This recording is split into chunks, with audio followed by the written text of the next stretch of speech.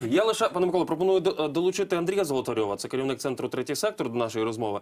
А, пане Андрію, вечір добрий, раді вас вітати. Добрий вечір. Підключайтесь до нас. А як вам здається, наскільки взагалі ця тема а, героїзації чи десакралізації, е, оцінки історичних постатей, вона для влади і для політиків, вона містить більше негативного потенціалу і можливостей десь е, трохи дати в штангу, чи зробити помилку і втратити підтримку? Чи, чи е, є там потенціал для, для позитиву, для того, аби прийняти рішення? і мобілізувати частину електорату і е, змусити їх підтримувати тебе. Як ви бачите? Ну, в данном контексте то, что, э, то, о чем вы говорили, абсолютно согласен с тем, что это носит абсолютно спекулятивный характер. И э, ну, э, желание поставить власть на растяжку. Если проигнорируют, ну, значит, не украинская власть.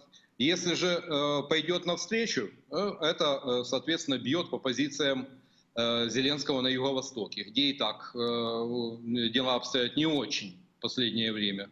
Так, если э, абстрагироваться от э, э, довольно мажорной для президента социологии, как раз Юго-Восток для него превращается в проблему. То есть в данном случае мы, имеет место политическая технология.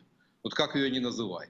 А в принципе, чем меньше государства, чем меньше политики в вопросах, связанных с исторической памятью, ну, тем лучше для страны, тем лучше для общества. Так, тут почули, зафіксували Андрію. Будемо дякувати вам. Спасибі, що е, приєдналися.